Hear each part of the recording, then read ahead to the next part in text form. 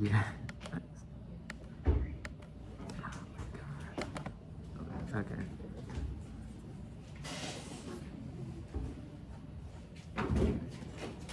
Maybe you want to use a clicker that way you won't block the Yeah, probably. get the USB or USB-C. Yeah. USB. Okay. It's too advanced. Hmm? What is it? It's too advanced. For advanced, well, I, Yeah, it's my USB-C. everyday job, so I need to get with my. Yeah, okay, there you go. So, okay, so now you can step uh, this side, that way you don't block the screen. Okay, yeah. Big one. Yeah. Okay. All right. So our project was the adjustable climbing wall. My name's Eddie. I was the computer engineering, and I was the lead, or yeah, I was the leader of our project. Um, hi, I'm Nkosi. I'm the mechanical engineer on the project. Hi, I'm Mo. I was the electrical engineer of the project. Alright, so so we'll be going over the background and motivation, the project criteria and objectives we have for this school or for this project. Uh, then we'll talk about the mechanical, electrical, and software design of this, and then we'll go on to the parts and budget uh, and our final system. Show you a little demo of it, and then conclude with uh, some future work. So again, the background motivation was mainly because of the lack of access I had to a climbing gym. Uh, I was going maybe two to three times a month, but I was still paying that heavy uh, monthly premium for that access. And just I wanted something that I could work around my schedule and just be able to climb when I when I have time. So in order to do that, the solution was to create an affordable and uh, efficient climbing wall that was just as strong and had similar or the same holds that the climbing gym had. And we wanted to have uh, similar features as a gym where you can have uh, preset LEDs or make your own and have the adjustability uh, to make it harder or make it easier based off whatever you want to train on. Target audience still the same. We're, we're targeting intermediate and advanced climber as they tend to, to invest in, the, in this a lot, for, a lot to improve their strength and their technique. And they should be able to do that by doing by having the uh, climbing wall at home, so they can do it every day. Yeah. So we also wanted to target mainly like uh, at-home use, not really gym purposes. Uh, the because the whole goal is to be affordable, and we didn't want to tax a heavy premium for this product. So just anyone who wants to climb on their own. And I'll pass it over to Nkosi for the mechanical design. So with our final design, um, it's made out of wood that Eddie cut and I cut the board out. Um, so it consists of support beams onto which um, some stepper motors are placed with um, spools on them, which are 3D printed. Um, then there's the angled wall, which is 14 by 9 inches, and it sits on some hinges. And then there are a bunch of LEDs, um, 45, 45. that uh, that can turn on, and then there's rope that the motors can spool in and out. And so with the board itself, um, there are 3D printed um, climbing holds that are based on models of actual wall climbing holds. So for a full-size version, these holds would be modular because they're the same type of holds as you see in like uh, wall climbing gyms. Architecture is the still the same. We use the Nextion uh, touch display and Arduino microcontroller uh, to control the LED matrix uh, and, and 45 LED light. And we still use two 5 volt to control the LED and the step motor. Uh, the motor driver to control the motors. The basically. Yeah, so this was all running on one power supply. Uh, it was about 5 volts that we needed for both the drivers and um, the Arduino, and the Arduino powered the the touch display. And here's a little uh, schematic that we had for the motors on the left. Uh, this is all connected to the same Arduino. We didn't want to have multiple, and there was no, no point for that. So uh, the left is the stepper motors, and the right is the um, LED matrix design. And then for the software flow chart, we kind of kept it um, the same as our original one. Uh, it starts off by initializing your ports and libraries, and then the main function would sort of loop and constantly be checking the serial monitor for um, input from the display. And that's how you would know to go to custom, uh, preset, or re record your status. Uh, and then, yeah, you, preset's pretty straightforward. You can preset your routes or LEDs. Custom, you have uh, the freedom to do what you want with your wall. And record allows you to log your, your climbs. And so with our parts, we have the Arduino Mega, our microcontroller, we have stepper motors, the hinges, the three printed holes were of negligible price, um, the wooden board, the string, the touch screen, um, the LED lights, and the LED matrix. And in total, at least by our original, or by our estimate, uh, not including any like extra parts, were Yeah, we had Um, quite a few extra parts to order. That was because uh, either um, we needed more or some of the ones we had broke on us. So there's some replacement costs, but if you were to start from scratch, this is kind of like the base price you would be paying. Some issues we ran into was with the display editor. That was probably the biggest headache we had. Um, so the way, the uh, the reason that it was an issue is because there's a lot of sources out, like resources to help you, but they're all different, so they kind of contradict with each other, or uh, you sort of have to stick with one and follow that library, but then you sort of like figure out that it doesn't really work the way you want it to work. So we just kept having to so look into different ways of working with the, the display.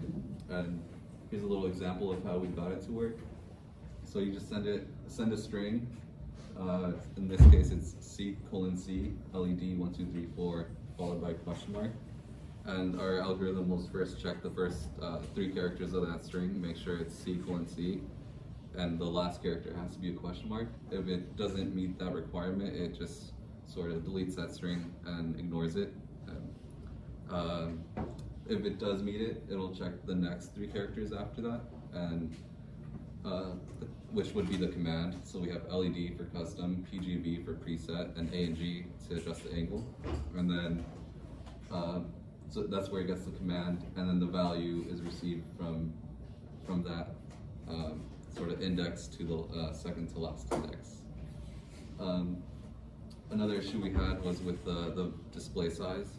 Uh, we chose to go horizontal and sort of uh, made it a burden for us to have to display the matrix on the display because we didn't have the full vertical um, size. So solution for that is just upgrade the display to a bigger one or make it vertical. And the last issue we ran into was with the matrix driver. We think we burned out a couple of pins in the driver, so uh, we weren't able to get all the LEDs on the actual board to work the way we wanted to. Um, yeah, we didn't have enough time to reorder a new one for the showcase. And so we have a video of our final system. Close this out. This is our demo of the, the wall. And this is all working, so it's all controlled by the touchscreen. I first go into custom, and I'll lower the angle to about 67 degrees.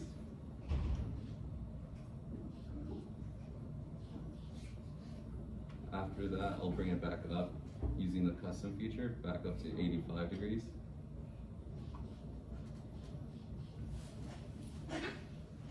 and then I'm gonna mess around with the custom matrix. And to simulate the matrix, we have a little LED display that you can see turning on right now as I press the buttons. And then you can clear it if you want and create a new one.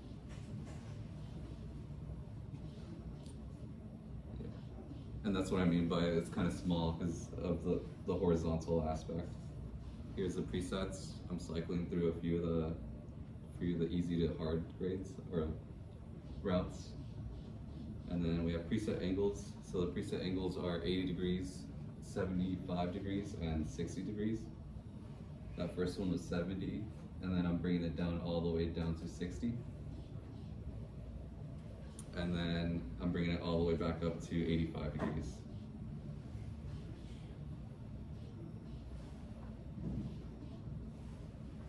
And then the last page is just the record your, your climb. So you can uh, mark if you completed it or not, and then the number of times you, you, you took. And then we limited that to 30 attempts because uh, I feel like less than 15 would be realistic. So just just in case you happen to go over that. And then I just clear it. Yeah, and ideally that little matrix would be the actual wall, the actual LEDs on the wall. That's our demo.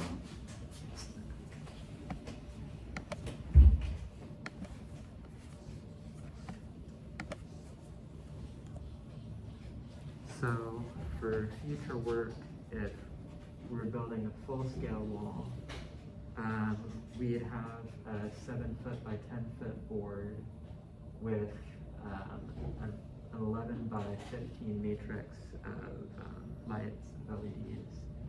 And in this case, with um, 165 LEDs, we need um, three matrix drivers.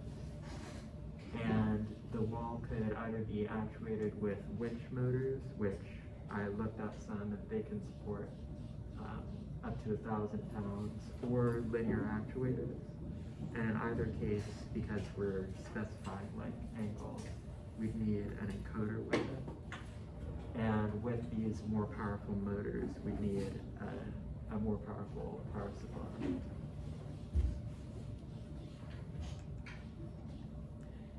conclusion, the design worked like as we wanted, but with substituting the matrix, we learned how to work in real life and code. This is the, was, I think, one of the most hard things. Not as we thought it was easy. Important of researching and ordering extra component and focusing on the deadlines so we don't be late. Uh, improvement, we need a different display, and uh, ordering ex- extra parts, and the laser part. Yeah, uh, I think uh, would have been nice to laser cut some parts. Uh, I wasn't. I think uh, I only found out this semester that we had a laser cutter right right next door. So it would have been cool to sort of get a head start. And like if, if we had known that, we'd have probably uh, laser cut our parts rather than you know using our saws and stuff. Uh, but yeah, that's probably like the other improvement.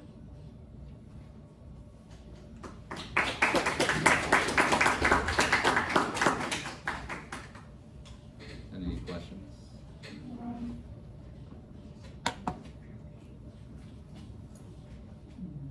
I have one question. So, um, first of all, you do a good job, uh, with presentation and coming up with a backup solution when you run out of part, like that the matrix. Um, so, one question is about the safety, like for example, if you set an angle and power is lost, what, what will happen to the wall if uh, at a particular angle, power supply is lost? There's power outage. Uh, stay at some angle or fall or? Yes, we, we don't have a, a, a calibration method to our uh, code, so it would just stay at the, the angle that the power went out. Yeah, so. So it's uh, like, uh, how does it stay? Is it because the motors get locked? Yeah, they're, they're stepper motors, so uh, I think they're unipolar. Yeah, unipolar motors, so it's, uh, it wouldn't, um, it wouldn't move If there's no unless, yeah, unless you like force, like forcefully try to move it. And um, also if we use like either the winch or the linear actuator, there should be enough friction and we could like implement like extra safety just in case. Yeah, and the, the base of the, the climbing wall should have a padding for like a real scale one, so if you were to fall, you, you'd fall onto the padding and you wouldn't be hurt, Yeah. yeah.